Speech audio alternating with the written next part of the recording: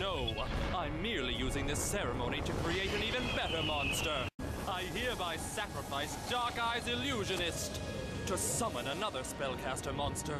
Yes, there's more. The incredible, extraordinary, unforgettable creature known only as Relinquished.